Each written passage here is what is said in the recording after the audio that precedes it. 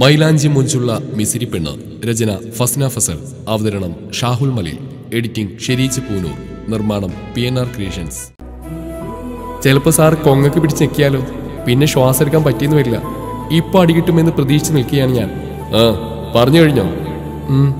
എന്നാ പോയിക്കോ. ഞാൻ പോവാനായി തിരിഞ്ഞപ്പോൾ സാറ് പറഞ്ഞു. അപ്പോ എനിക്ക് മറുപടി വേണ്ടേ? പണി പാളി. ഇതും പറഞ്ഞ് ഞാൻ ശ്യാമിന്റെ മുഖത്തേക്ക് നോക്കിയപ്പോൾ തെണ്ടി കേട്ടൊന്ന് വിശ്വസിക്കാനാവാതെ വായും തുറന്നിരിക്കുകയാണ്. മറുപടി ഒന്നും വേണമെന്നില്ല സർ. ഏ? അത് കൊള്ളാലോ. ഒരു കാര്യം പറഞ്ഞിട്ട് അതിന് മറുപടി വാങ്ങാതെ പോകുന്ന മോശമല്ലേ? എന്നെ ഇപ്പൊ തല്ലും. അടിയും പ്രതീക്ഷിക്കുന്ന എന്നോട് സാറൊരു ചോദ്യം ചോദിച്ചു. മിസിരി താൻ പ്രണയിക്കുന്നയാൾ എങ്ങനെയാവണമെന്നാണ് തന്റെ ആഗ്രഹം? അത് സാർ താൻ പറയണം? പഠിപ്പിക്കുന്ന സാറിനോട് ക്ലാസ്സിൽ എല്ലാവരുടെയും മുമ്പിൽ വെച്ച് പരസ്യമായിട്ട് ഇഷ്ടം പറയാമെങ്കിൽ പിന്നെ തന്റെ സങ്കല്പം പറയാതിരിക്കുന്ന എന്തിനാ? സർ നമ്മളെല്ലാം യാത്ര ചെയ്യുമ്പോൾ റെഡ് സിഗ്നൽ കിട്ടി വെയിറ്റിംഗ് വരാറില്ലേ? ചെറിയ ചെറിയ സാധനങ്ങൾ വിൽക്കാനായി ഒക്കെ ആയി വരുന്ന കുട്ടികളെ കണ്ടിട്ടില്ലേ? അവർക്ക് അഞ്ചോ പത്തോ രൂപ ഭിക്ഷായി കൊടുത്തൊഴിവാക്കാതെ നമ്മൾ പോകുന്ന കാര്യം മാറ്റിവെക്കാൻ കഴിയുന്നതാണെങ്കിൽ അത് മാറ്റിവെച്ച് അവർക്ക് വിശക്കുന്നുണ്ടെങ്കിൽ അവരുടെ വിശപ്പിന് കുറച്ച് ഭക്ഷണം വാങ്ങിക്കൊടുത്ത് സ്ഥിരമായി ഭക്ഷണവും നല്ല വിദ്യാഭ്യാസവും നൽകാൻ കഴിയുന്നിടത്ത് എത്തിക്കാൻ മനസ്സുള്ള ഒരാളാവണമെന്നാണ് എന്റെ ആഗ്രഹം. ഗുഡ് സഹജീവി സ്നേഹമുള്ള ഒരാൾ വേണമെന്ന്. പക്ഷേ ഞാൻ അങ്ങനെയുള്ള ഒരാളല്ല. പിന്നെ എങ്ങനെയാ? തനിക്ക് എന്നെ ഇഷ്ടമായത്? പണി പിന്നെയും പാളി. ഇപ്രാവശ്യം ഞാനല്ല ഐഷു അത് പറഞ്ഞത്. ചെറുപുഞ്ചിരിയോടെ ഞാൻ പറഞ്ഞു തുടങ്ങി. സാർ അങ്ങനെയല്ലെന്ന് സാർ പറഞ്ഞാൽ മാത്രം പോരല്ലോ. പിന്നെ ആരാ പറയേണ്ടത്? സർ ക്ലാസ്സിലുള്ള സ്റ്റുഡൻസ് എല്ലാവർക്കും ആഷിഖ് ഷാബാസ് എന്ന അധ്യാപകനെ അറിയും. ആഷിഖ് ഷാബാസ് എന്നൊരു വിദ്യാർത്ഥി ഉണ്ടായിരുന്ന കോളേജിൽ. ആ വിദ്യാർത്ഥിയെ ചിലപ്പോൾ ഇവരാരും അറിയാൻ സാധ്യതയില്ല. പക്ഷേ ആ വിദ്യാർത്ഥിയെ ഞാൻ അറിയും. ആ വിദ്യാർത്ഥിയുടെ നല്ല മനസ്സറിയും. എന്നെ ഒരു കൗതുകത്തോടു കൂടി നോക്കി നിൽക്കുകയാണ്. കൂടെ പഠിച്ച ക്ലാസ്മേറ്റ്സിനോട് സീനിയർ ചേട്ടൻ മോശമായി പെരുമാറിയപ്പോൾ സീനിയേഴ്സ് ആണെന്ന് പോലും നോക്കാതെ രക്ഷകർത്താവിനെ പോലെ പോയി ചോദിക്കാൻ കാണിച്ച നല്ല തന്റെയോടുള്ള ആഷിക് എന്ന വിദ്യാർത്ഥി എനിക്കറിയാം. ആ സുഹൃത്ത് ഒറ്റക്കായി പോയ സമയത്ത് എന്ന് വെച്ചാൽ അച്ഛൻ അറ്റാക്ക് വന്ന ഹോസ്പിറ്റലിൽ അതറിഞ്ഞ അമ്മ ബി പി കൂടി തളർന്നു വീണപ്പോൾ ഒറ്റക്കായി പോയ ആ ചേച്ചിക്ക് സുഹൃത്തിനേക്കാൾ ഉപരി സഹോദരന്റെ കരുതലും സ്നേഹം കൊടുത്ത ഒരു പൂർവ വിദ്യാർത്ഥി എനിക്കറിയാം. അച്ഛന്റെ സർജറി അടക്കം ഹോസ്പിറ്റലിൽ ലക്ഷങ്ങളുടെ ബാധ്യത വന്ന് എന്ത് ചെയ്യണമെന്നറിയാൻ നിന്ന അവൾക്ക് ഞാനുണ്ടടാ എന്ന് ആശ്വസിപ്പിച്ച് ആ ബാധ്യതയെല്ലാം ഏറ്റെടുത്ത ഒരു സഹപാഠിയെ ഞാൻ അറിയും. പിന്നീട് അങ്ങോട്ട് സാമ്പത്തികമായി ബുദ്ധിമുട്ടുന്ന അവരുടെ കുടുംബം ഇന്ന് നല്ലില്ലാ ജീവിക്കുന്ന അടക്കം സുഹൃത്തിന്റെ കല്യാണം വരെ നടത്തി കൊടുത്ത സാറിന്റെ മനസ്സിൽ സഹജീവി സ്നേഹം ഇല്ല എന്ന് പറഞ്ഞാൽ ഞാനെങ്ങനെ വിശ്വസിക്കും? ആ അതെന്റെ ഫ്രണ്ടാണ്. അതുകൊണ്ട് ചെയ്തു. അല്ലാതെ കാണുന്നവരെല്ലാം ഞാൻ സഹായിക്കാൻ പോയിട്ടില്ല. സാറിനെ നോക്കിയിട്ട് ഞാനൊരു പുഞ്ചിരിയോടെ തുടർന്നു. കോളേജിൽ നിന്ന് അവസാന വർഷം ടൂർ പോയപ്പോൾ ഊട്ടിയിൽ നിന്ന് മുല്ലപ്പൂ വിൽക്കുന്ന കുട്ടിയോട് സംസാരിച്ചപ്പോൾ അവൾ നമുക്ക് മരുന്ന് വാങ്ങാനാണ് ഇത് വിൽക്കുന്നതെന്ന് അറിഞ്ഞു. ആ പൂവ് മൊത്തത്തിൽ വാങ്ങി അതിന്റെ വിലയും കൂടാതെ കുറച്ചധികം രൂപയും കൊടുത്ത് ആ കുഞ്ഞിനെ സഹായിച്ചത് ഏത് പരിചയത്തിന് പുറത്തായിരുന്നെന്ന് എനിക്കൊന്ന് പറഞ്ഞു തരുമോ സാർ എന്റെ വാക്വാദം കേട്ടിട്ട് ക്ലാസ് ഒന്നടങ്കം ഞെട്ടിയിരിക്കുകയാണ്. ഇനി എന്തെല്ലാം സംഭവവികാസങ്ങൾ ഉണ്ടാവുമെന്നറിയാതെ എന്റെ ചങ്സ് ചങ്കിടിപ്പോടെ കാത്തിരിക്കുകയാണ്. അപ്പോഴേക്കും ആ അവർ തീർന്നു. ബെല്ലടിച്ചു സാർ എന്നോട് പൊയ്ക്കൊള്ളാൻ പറഞ്ഞിട്ട് സാറും പോവാനായി തിരിഞ്ഞപ്പോൾ സാർ ശ്യാമാണ്. നഫിക്കുള്ള മറുപടി സാർ കൊടുത്തില്ലല്ലോ. അവൾക്കുള്ള മറുപടി അല്ലേ അല്ലാതെ തനിക്കല്ലല്ലോ. അവൾക്കുള്ള മറുപടി ഞാൻ കൊടുത്തോളാം. അത്രയും പറഞ്ഞ് സാറ് ക്ലാസ്സിൽ നിന്നും പോയി. തെണ്ടി ഇത്രയൊക്കെ ആക്കി വെച്ച പോരാ. അവനിനി മറുപടിയും വേണം. അവനിങ്ങ് വരട്ടെ മറുപടി അന്വേഷിച്ച് അവന്റെ പുറം അടിച്ച് പള്ളിപ്പുറമാക്കണം. ഇങ്ങനെയൊക്കെ മനസ്സിൽ വിചാരിച്ച് ഞാൻ എന്റെ സീറ്റിൽ പോയിരുന്നു. ശ്യാമിനെ നോക്കിയപ്പോൾ അവനൊരു മാതിരി ആക്കിയ ചിരി. അവനെ നോക്കിയൊരു ലോഡ് പുച്ഛം വാരി വിതറി തിരിഞ്ഞു നോക്കിയപ്പോൾ ദേ അടുത്ത കുരിശ് മുന്നിൽ വന്ന് നിൽക്കുന്നു. വേറെ ആരാ? ബെൻസീറ. അവളുടെ കണ്ണുകളൊക്കെ ചുവന്നിട്ട് എന്നെ ദഹിപ്പിക്കാൻ പാകത്തിനായി നിൽക്കുകയാണ്. അവൾ എന്റെ കവിളത്തിൽ ഞെക്കിപ്പിടിച്ച് പുറകോട്ട് തള്ളി ചുമരിൽ ചാരി നിർത്തി. നിന്നോട് ഞാൻ പല പ്രാവശ്യം പറഞ്ഞിട്ടുണ്ട് സാറിനെ സാറിന്റെ പാട്ടിന് വിട്ടേക്കാൻ. നിനക്ക് എത്ര പറഞ്ഞാലും മനസ്സിലാവില്ല അല്ലേ നീ എന്നോട് പണി വാങ്ങിച്ചിട്ടേ അടങ്ങൂ. അവളുടെ പിടുത്തം മുറുകി വന്നു. എനിക്ക് നന്നായി വേദനിക്കുന്നുണ്ടായിരുന്നു. അവളുമാരെല്ലാവരും കൂടി അവളുടെ കൈ വിടുവിക്കാൻ നോക്കുന്നുണ്ട്. പക്ഷേ എവിടെ നടക്കാൻ അമ്മാതിരി പിടുത്തമാണ് അവൾ പിടിച്ചിരിക്കുന്നത്. പെട്ടെന്ന് അവളുടെ കൈ ആരോ ബലമായി പിടിച്ചു മാറ്റി. പേടിക്കണ്ട അവൾക്കിട്ടൊന്ന് പൊട്ടിച്ചതാണ്. വേറെ ആരുമല്ല നമ്മുടെ ശ്യാം. അങ്ങാടിയിൽ തോറ്റതിന് അമ്മയോടല്ല ദേഷ്യം തീർക്കേണ്ടത്? മെൻസിറ നീ പോ. ഇനി അവളോട് വഴക്കിടുന്നെങ്ങാനും കണ്ട. ഇപ്പോ കിട്ടിയ പോലെ ഇനിയും കിട്ടും. അവൾ പോവാനായി തിരിഞ്ഞു. പെട്ടെന്ന് എന്നെ അവനെ നോക്കി ഞങ്ങളോടായി പറഞ്ഞു ഓ നിന്റെ അഡ്വൈസറി ഇവനാണല്ലേ? സൂക്ഷിച്ചോ നിങ്ങൾക്കുള്ള പണി ഞാൻ തന്നിരിക്കും. എനിക്ക് കിട്ടാത്തൊന്നും വേറെ ആരും അനുഭവിക്കണ്ട. നീ ബോഡി ഇവിടുന്ന് ഇനിയും ഡയലോഗ് അടിച്ചാലേ അടി കിട്ടും. നേരത്തെ കിട്ടിയ പോലെ നീ വിട്ടോ വിട്ടോ? അതും പറഞ്ഞ് അവനെന്റെ മുഖത്തേക്ക് നോക്കി. ഞാൻ അവനെ മൈൻഡ് ചെയ്യാതെ സീറ്റിൽ പോയിരുന്നു. ക്ലാസ് കഴിഞ്ഞ് പുറത്തിറങ്ങി ഫോൺ ഓണാക്കി ക്ലാസ് റൂമിൽ നിന്ന് ഫോൺ സ്വിച്ച് ഓഫ് ചെയ്യണമെന്ന് നിർബന്ധമാണ്. മുന്നോട്ട് നടന്നപ്പോഴാണ് പുറകിൽ നിന്നൊരു വിളി കേട്ടത്. ശ്യാമാണ്. ഞാൻ അവനെ മൈൻഡ് മുന്നോട്ട് നടക്കാൻ തുടങ്ങിയപ്പോൾ അവൻ എന്റെ മുന്നിൽ കയറി നിന്നു. ശ്യാം മാറി നിൽക്ക്. എനിക്ക് പോകണം നീ നിൽക്ക്. നീ എന്താണ് പെട്ടെന്ന് പോന്ന്? അവളുമാരെ അവിടുന്ന് ഇറങ്ങുന്നേ ഉള്ളൂ. എനിക്കൊരു സ്ഥലം വരെ പോകാനുണ്ട് അതാ ഞാൻ നേരത്തെ ഇറങ്ങിയത്. അതിന് ഇത്ര ഗൗരവം എന്തിനാ? എന്നോട് സംസാരിച്ചാൽ പോകുന്ന സ്ഥലത്ത് നിന്നെ കയറ്റില്ലേ എനിക്ക് നിന്നോട് സംസാരിക്കാൻ താല്പര്യമില്ല. നീ മാറി. എനിക്ക് പോകണം നീ ആ ഗൗരവം ഇട്ടൊന്ന് മാറ്റിപ്പറ പറ. അപ്പൊ ഞാൻ മാറാം. ശ്യാം നീ ഒറ്റ ഒരാൾ കാരനാണ് ഇന്ന് ഈ പ്രശ്നം മൊത്തം ഉണ്ടായത്. നിന്റെ വില കുറഞ്ഞ ഈഗോയാണ് എല്ലാത്തിനും കാരണം. ഇതൊന്നും പോരായിട്ട് അവൾക്കിട്ടൊന്ന് പൊട്ടിച്ചേക്കുന്നു. ഇനി അവൾ പോയിട്ട് എന്തെങ്കിലും പ്രശ്നങ്ങൾ ഉണ്ടാക്കുമാവോ ഐ ആം സോറി ഡി. ഇത്രയും പ്രശ്നമൊന്നും ഞാനും കരുതിയില്ല. എന്റെ ചിന്തകൾക്കപ്പുറം ആയിപ്പോയി സംഭവിച്ചല്ല ഞാൻ എന്ത് വേണമെങ്കിലും ചെയ്യാം. നീ എന്നോട് മിണ്ടാതിരിക്കലടി ഇനി ഇതിന്റെ എല്ലാം കലിപ്പ് ആ ബെൻസിൽ എന്തൊക്കെ ചെയ്ത് തീർക്കുന്നത് എങ്ങനെ അറിയാം? എനിക്ക് ആകെ പേടിയാവുന്നു.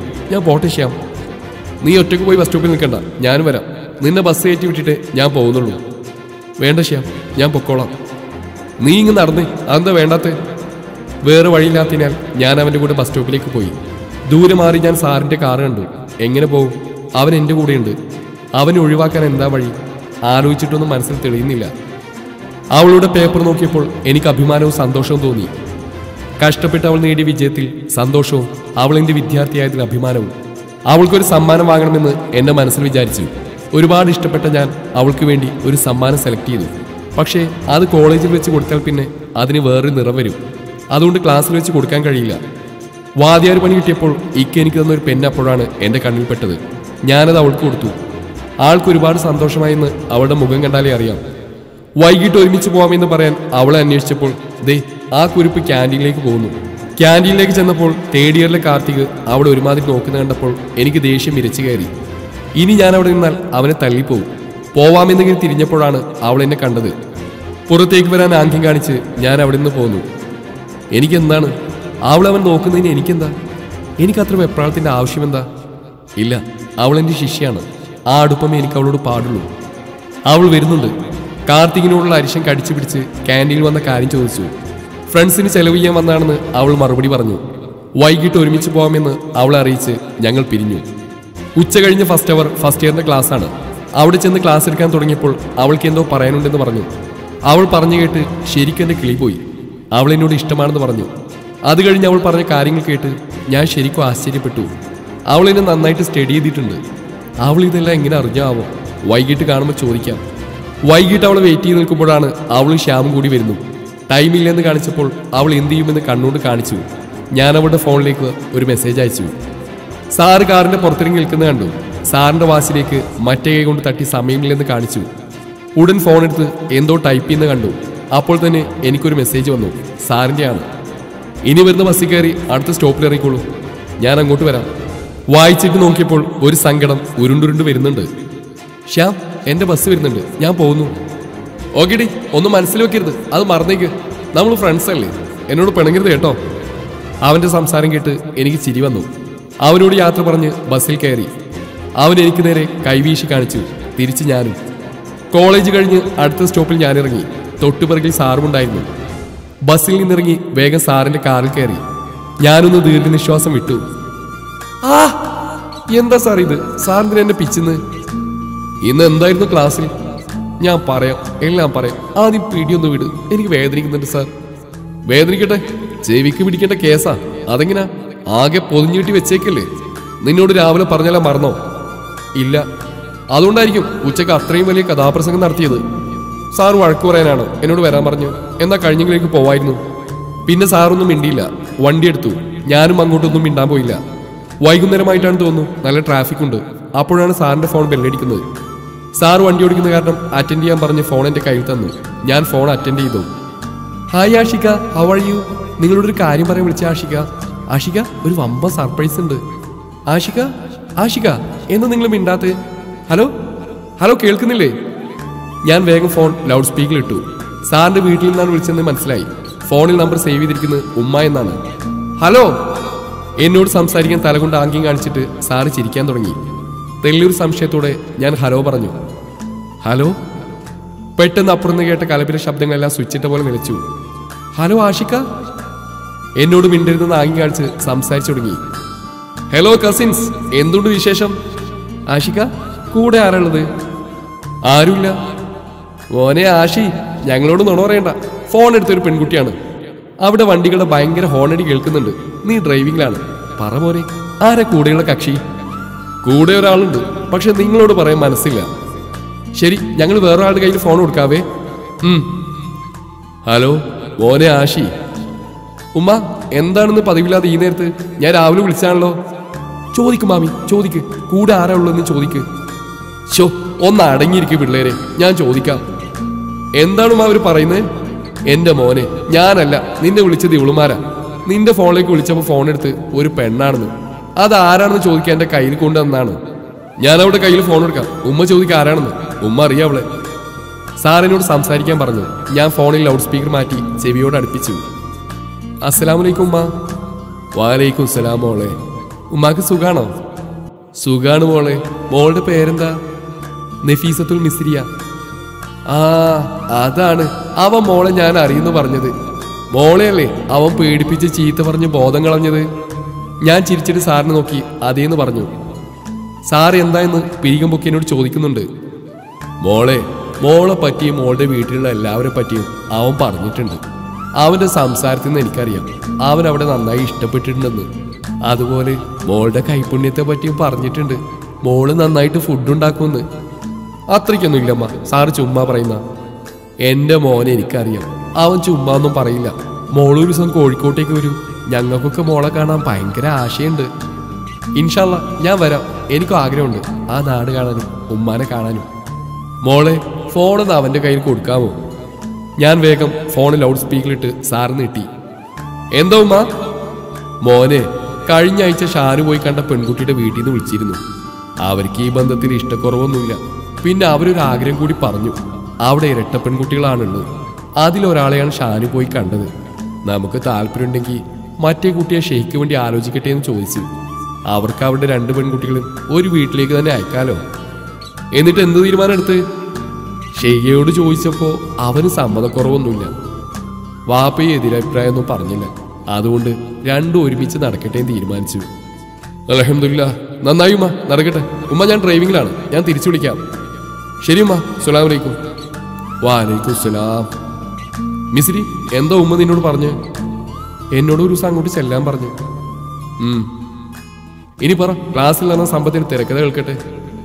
ശ്യാമാണ്. അവൻ പറഞ്ഞിട്ടാ ഞാൻ അവൻ നിന്നോട് പൊട്ടകേണ്ടി ചാടാൻ പറഞ്ഞ നീ പൊട്ടകേണ്ടി ചാടുവോ? ഇതിന്റെ ബാക്കി എന്താവും എന്ന് താൻ ആലോചിച്ചിട്ടുണ്ടോ? കാട്ടുതീ പോലെ ഈ വാർത്ത കോളേജ് മൊത്തം പരന്നിട്ടുണ്ടാവും. നിനക്കെന്താ പ്രശ്നം? ഞാനൊരു അധ്യാപകനാണ്. എനിക്ക് നാളെ കുട്ടികളുടെ മുഖത്ത് നോക്കേണ്ടതാണ്. സോറി സാർ സോറി ഒരൊറ്റ അടി വെച്ചെന്നാലുണ്ടല്ലോ സാറിനെ തല്ലാൻ കയ്യോങ്ങി. സാർ എന്തു വേണേലും ചെയ്തോളൂ. ഉപ്പച്ചിയോട് മാത്രം പറയരുത്. ആലോചിക്കട്ടെ. മിസ്രി നിനക്കുള്ള പണി നേരത്തെ കിട്ടി മോളെ. എന്താ? നേരത്തെ എന്റെ കസിൻസ് വിളിച്ചപ്പോൾ നിന്നോട് ഫോൺ എടുക്കാൻ ഞാൻ എന്തിനാ പറഞ്ഞെന്നറിയോ? ആ അഞ്ചാറെണ്ണത്തിൽ ഒരെണ്ണം എന്റെ തലയിൽ കയറാൻ നിൽക്കുക ഇനിയിപ്പോൾ അവളുമാരോട് എന്ത് പറഞ്ഞാലും അവളുമാര് വിശ്വസിക്കില്ല. ബാക്കിയൊക്കെ അവളുമാര് ഊഹിച്ചെടുത്ത് പൂരിപ്പിച്ചോളൂ. എങ്ങനെയുണ്ട്? തിരിച്ചു കിട്ടിയ പണി? ഞാൻ വായും പൊളിച്ചിരുന്നു പോയി. പിന്നെ ഞങ്ങളൊന്നും മിണ്ടിയില്ല. വണ്ടി നേരെ സിറ്റിയിലേക്കാണ് പോയത്. ഒരു ഷോപ്പിന് മുന്നിൽ ചെന്ന് വണ്ടി നിന്നു. ഞാൻ അതിന്റെ പേര് വായിച്ചു. Zainas collections of ladies. വൈകുന്ന് വീട്ടിൽ വിളിച്ച് പറഞ്ഞിരുന്നോ? ഇല്ല. ബെസ്റ്റ് വിളിച്ചു പറയടി. ഞാൻ വീട്ടിൽ വിളിച്ചു പറഞ്ഞു സാറിന്റെ കൂടെയാണെന്നും വൈകിട്ട് എത്തുകയുള്ളെന്നും. ഇറങ്ങ്. അല്പം സംശയിച്ച് ഞാൻ ഇറങ്ങി. സാറിന്റെ കൂടെ ഞാൻ ആ ഷോപ്പിനകത്തേക്ക് കയറി. ഹായ് ഷെറി കടയുടെ അകത്തിയെന്ന് അവിടെ നിൽക്കുന്ന പെൺകുട്ടിയെ സാർ വിഷ് ചെയ്തു. ഹായ് ആഷി ഇതാണോ? താൻ പറഞ്ഞ ആൾ? അതെ. വരൂ. ഞാൻ സംശയത്തോടെ സാറിനെ നോക്കി. ചെല്ല്. നിനക്ക് അവരൊരു ഡ്രസ്സ് ഡിസൈൻ ചെയ്ത് വെച്ചിട്ടുണ്ട്. അത് ഇട്ട് നോക്കാനാണ്? ഞാൻ ആ ചേച്ചിയുടെ കൂടെ അകത്തേക്ക് പോയി. ഒരു pink colour gown wow super gown ഞാൻ ആ ഗൗൺ ഇട്ട് സാറിന്റെ മുന്നിൽ ചെന്നു. സൂപ്പറാണെന്ന് സാറും പറഞ്ഞു. തിരിച്ച് ഡ്രസ്സിംഗ് റൂമിൽ ചെന്ന് ഞാൻ അഴിച്ച് അവരെ ഏൽപ്പിച്ചു. തിരികെ വന്നപ്പോഴേക്കും സാറ് ബില്ല് പേ ചെയ്തു. എനിക്ക് വേണ്ടി വെയിറ്റ് ചെയ്യുകയായിരുന്നു. താനത് പാക്ക് ചെയ്ത് വാങ്ങിച്ചോളൂ. ഞാൻ അപ്പുറത്തുണ്ടാവും. Bye Sheri okay bye Ashiq അത് പാക്ക് ചെയ്ത് തന്നിട്ട് ചോദിച്ചു കേട്ടപ്പോൾ പകച്ചുപോയി എന്റെ ബാല്യം. എന്റെ ഹസ്ബൻഡിന്റെ ഫ്രണ്ടാണ് ആഷിഖ്. അവൻ എന്നോട് അവന്റെ സ്റ്റുഡൻസിന് ഗിഫ്റ്റ് കൊടുക്കാൻ ഒരു ഗൗണ് പ്രിപ്പയർ ചെയ്ത് കൊടുക്കാൻ ഓർഡർ തന്നു ഈ കളറും ഡിസൈനും അവൻ തന്നെയാണ് സെലക്ട് ചെയ്ത്. കുറച്ച് കോസ്റ്റ്ലി ആവുമെന്ന് പറഞ്ഞിട്ടും അത് തന്നെ മതിയെന്നാണ് അവൻ പറഞ്ഞത്. വേറൊരു സ്റ്റുഡന്റിന് ഇത്രയും കോസ്റ്റ്ലി ആയിട്ടുള്ള ഗിഫ്റ്റ് കൊടുക്കുക സത്യം പറയണു താൻ ആഷിയുടെ ലവറല്ലേ ഏ? ഇല്ല ഞങ്ങൾ തമ്മിൽ അങ്ങനെയൊന്നുമില്ല. ചേച്ചി ഗൗണിന്റെ പ്രൈസ് എത്രയാ? പതിമൂവായിരത്തി എണ്ണൂറ്റമ്പത്. താൻ പറഞ്ഞൊന്നും ഞാൻ വിശ്വസിച്ചില്ല കേട്ടോ. ഒന്ന് പറയണു താൻ ആഷിയുടെ ലവറല്ലേ അപ്പോഴാണ് സാർ ഹോൺ അടിക്കുന്നത് കേട്ട്. സാറ് വിളിക്കുന്നുണ്ട്. ഞാൻ പൊക്കോട്ടെ. എന്നെ പറ്റിച്ചിട്ട് മുങ്ങാണല്ലേ? ഞാൻ പിടിച്ചോളൂ കേട്ടോ. സി യു ബൈ ചേച്ചി. ചേ ഈ സാറെന്താ വട്ടുണ്ടോ? എന്നെ നാണം കെടുത്താൻ വേണ്ടിയിട്ട് അവിടെ മുമ്പിൽ കൊടുത്തിട്ട് പോന്നു. ഇങ്ങനെ കയ്യിൽ കാശാധികരുന്ന് വട്ടായി പോയി എന്ന് തോന്നുന്നു. ഞാൻ പോയി വണ്ടിയിൽ കയറി. സർ എന്തിനാണ് എനിക്ക് ഇത്രയും വിലയുള്ള ഗൗൺ വാങ്ങി തന്ന്? നീ അതിന്റെ വില അന്വേഷിച്ചോ? വില മാത്രമല്ല പറഞ്ഞ് ഒരു ചോദ്യം കൂടി ചോദിച്ചു ചേച്ചി. എന്ത്? ഒരു സ്റ്റുഡന്റിന് ഇത്രയും കോസ്റ്റ്ലി ഗിഫ്റ്റ് കൊടുക്കുമോ താൻ ആഷിയുടെ ലൗറല്ലേന്ന് അത് കേട്ടതും സാറ് ഭയങ്കര ചിരി. ചിരി നിർത്തിയിട്ട് സാറ് ചോദിച്ചു എന്നിട്ട് നീ എന്ന് പറഞ്ഞു? ഞാനൊന്നും പറഞ്ഞില്ല. സാറ് വിളിക്കുന്നതെന്ന് പറഞ്ഞു. ഞാനിങ്ങ് പോന്നു. ബെസ്റ്റ് നീ അവളെ കൺവിൻസ് ചെയ്തിട്ട് വേണ്ടേ പോരാൻ? നിന്റെ ഒരു കാര്യം. അവൾക്ക് സംശയത്തിനൊരു കാരണമായി. എന്തിനാണ് സാറേ ഇത്രയും വിലയുള്ള ഗൗണൊക്കെ എനിക്ക്? തനിക്ക് വേണ്ടെങ്കിൽ ഞാൻ കാർ നിർത്തി തരാം. ഡോർ തുറന്ന് പുറത്തേക്ക് കളഞ്ഞേക്ക്. കാർ ഒരു കോഫി ഷോപ്പിന് മുമ്പിൽ നിന്നു. ഇറങ്ങി വാ നമുക്കൊരു കോഫി കുടിക്കാം. ഞങ്ങൾ ഷോപ്പിനകത്തേക്ക് കയറി എ സിയിലാണ് ഇരുന്നത്. ഗ്ലാസ് ഫിനിഷിംഗ് ആയതുകൊണ്ട് പുറത്തെ കാഴ്ചകളെല്ലാം നമുക്ക് കാണാം. കോഫിക്ക് ഓർഡർ ചെയ്ത് പുറത്തേക്ക് നോക്കിയപ്പോൾ പുറത്ത് ഒരു പരിചിത മുഖം. ദേ ബെൻസീറ കൂടെ ആരും ഉണ്ട് തുടരും ഈ കഥയുടെ ബാക്കി ഭാഗം നാളെ ഇതേ സമയം.